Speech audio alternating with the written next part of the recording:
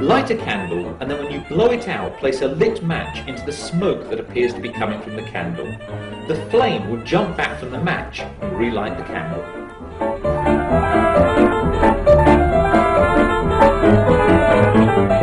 Place about 100 millilitres of water into a drinks can and you'll find you can balance and move it mysterious ways.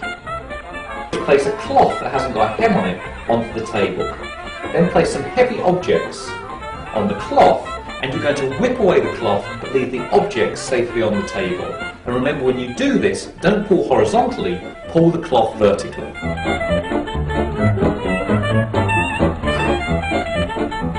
Ask someone to rotate their right foot clockwise and then with their right finger draw a number 6 in the air. What you'll find is they reverse the rotation of their foot so now it becomes anti-clockwise. So we're just going to put some vinegar into a, a jug here.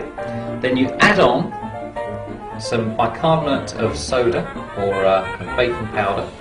What that does is start to produce carbon dioxide inside the, uh, the jug here. That's heavier than air, so that will stay in there. What it allows to do in a few moments' time is pour it on each of the candles and hopefully extinguish the flames without touching them.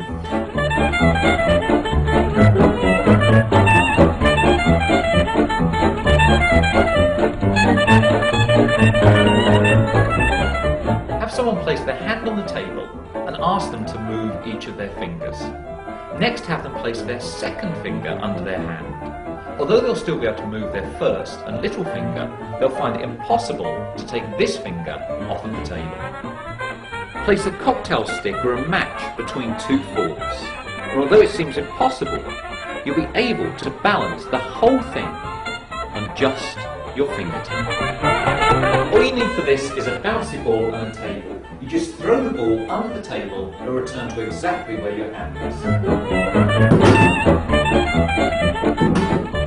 Take any note with a portrait on it and put a crease through each eye, and then another crease in the opposite direction between the eyes.